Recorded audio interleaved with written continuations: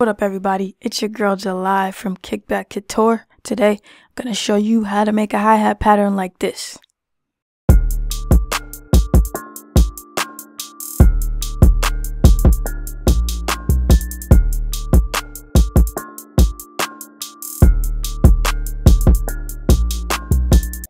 Alright, first things first. Gonna grab a loop from the free fire loop kit that's been on my site for some time now.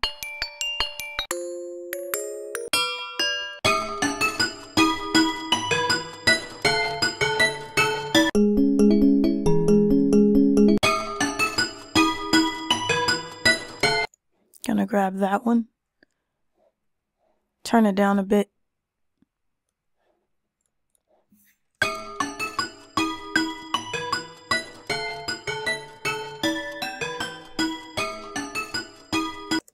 Alright, next I need a hi-hat. So I'm going to jump into the rack.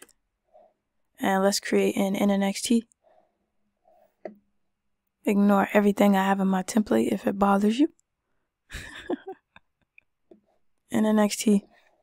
Gonna drag this into its own rack.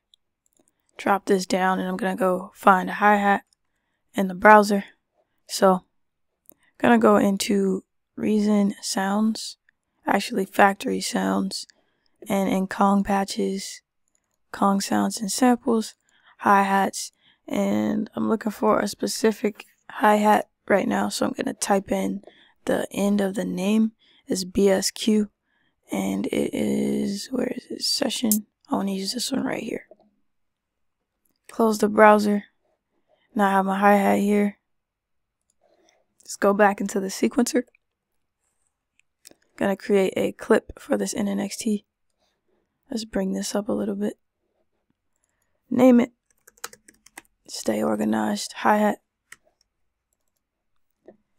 Click inside of the clip. And now I can start drawing my pattern. So in order to draw my pattern, you can click in with the mouse tool if you want to, but the way I do it is with this pen tool, right? Now, if I have this pen tool, I can do a number of things. Works similar to the mouse in that you can just click it in, but with the mouse, you gotta double click with the arrow. With the pen tool, you can just click once. So that's the first quick tip. Now when you have the pen tool, if you hold down option on a Mac or alt on a Windows, you can draw straight across and go back, right? Let's turn down this melody even more.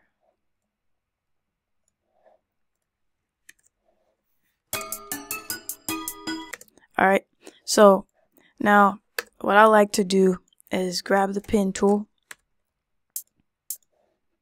turn down the second one so that I can have some variation in my velocity. We'll even bring this up a little bit for you. And then I'll duplicate this. Select them, drag and select, or you can hit Command A duplicate, Command D is control on the Windows. Alright, we can bring all of this up some more if we want to. Way to do it is to drag this up.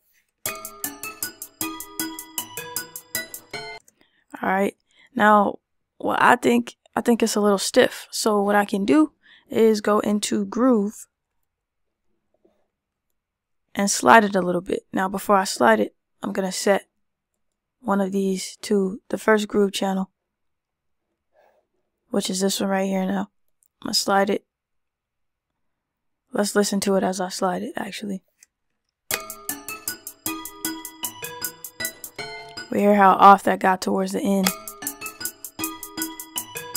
Let's go ahead and loop that.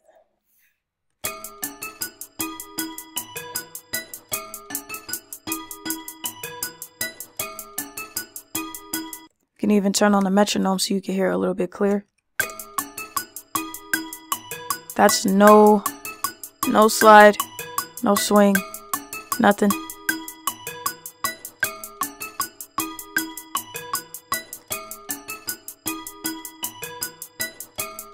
Now it's got a little bit of groove to it because it slid off of the beat. Now after I do that, I would build it out some more, right? Let's shut down the groove. I'm going to leave the swing settings how they are. Just going to remove it from here.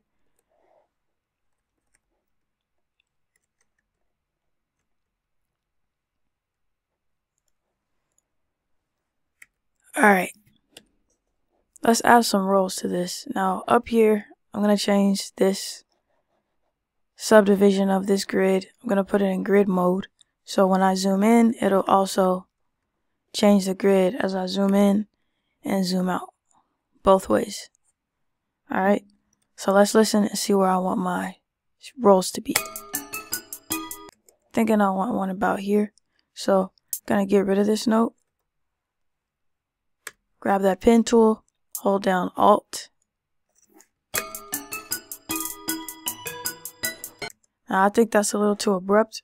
So what I can do while I have the pen tool, if I hold down Shift and Option, Shift and Alt on a Windows, I can get this tool here and make a ramp with the 808s for the velocity. I mean the, the it's an 808 hi-hat maybe, the hi-hat. so I would like that to be longer. So I'm going to take these notes and duplicate them over. And let's make a longer ramp. Alright, cool. So there we have a roll. Super simple. Um, as far as placement in your rolls, with your rolls, it doesn't really matter, to be honest with you.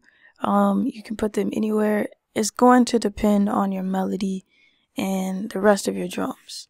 If you're doing your hi-hat first, the sky's kind of the limit and you build everything around it. But just place your rolls to where it sounds good in the beat. There's no specific place you can't do it. I could put it here at the beginning if I wanted to.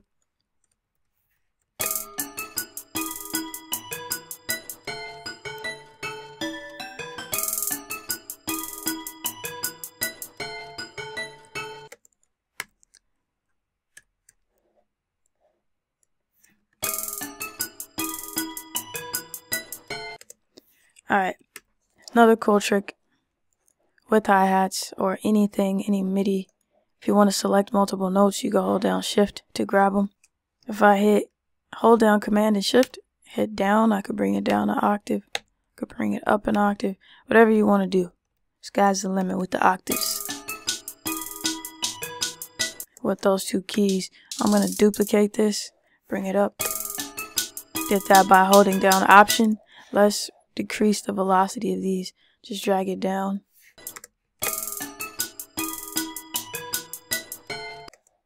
Alright, this one I think is too low.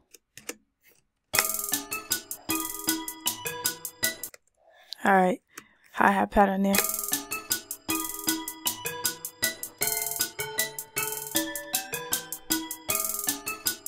Now, my personal opinion, this is a little too overboard. So I'm going to show you what I would do without much commentary.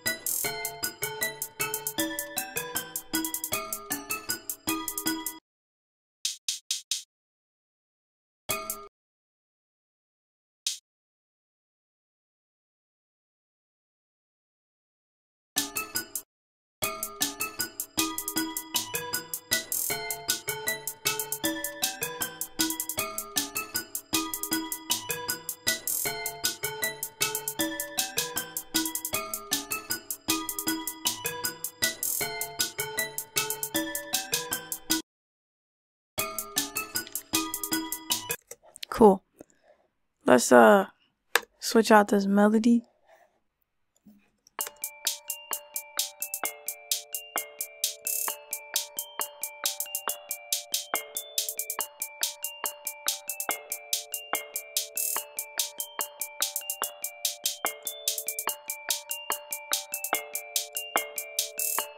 Now, what I would like you all to do is take at least, you know, one thing from what you saw me do and apply it to your workflow.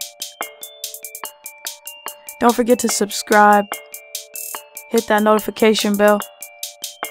It's all culture, kick back, and cook up.